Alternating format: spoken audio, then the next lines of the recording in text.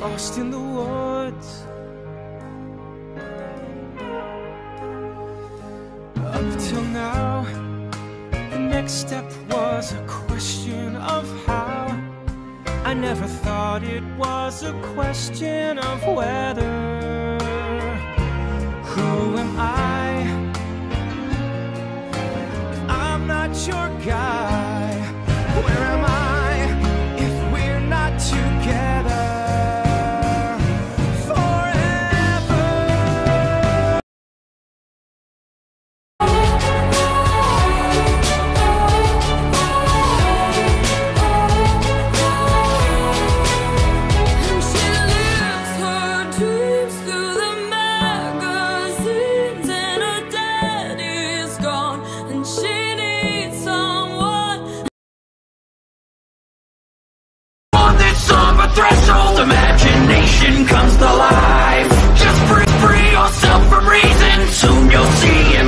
and white. Call me a seed of evil, but what's that mean if I'm conceived within your mind?